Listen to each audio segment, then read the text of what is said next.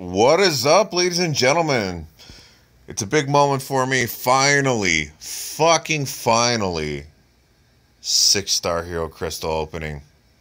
So let's take a quick look at what is available in the generic crystal.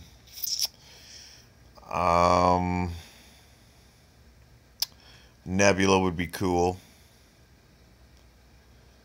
Luke Cage, I guess. Yondu. Angela. But I mean, who can really get picky with what the selection is? Fucking six stars, a six star. On that note, however, there are a few champions in that pool that are complete shit.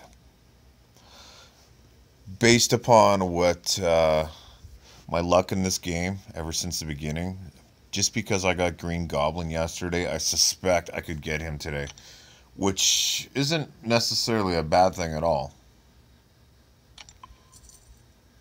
Just please let me get someone I can do something with. But yeah, Nebula would be pretty tight.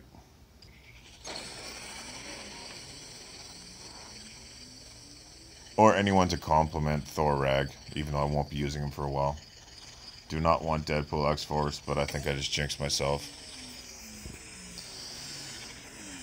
Give me someone useful. Of course, Rocket. Ay, ay, ay. I just recently got him in the five star version in my fucking blade openings. I mean, if he's ever duped, his damage will be insane, but. For me right now, he's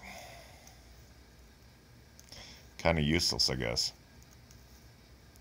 Anyways, if you guys have opened up a six star crystal in the past little bit here, let me know what you got, and uh, we can share horror stories or or success.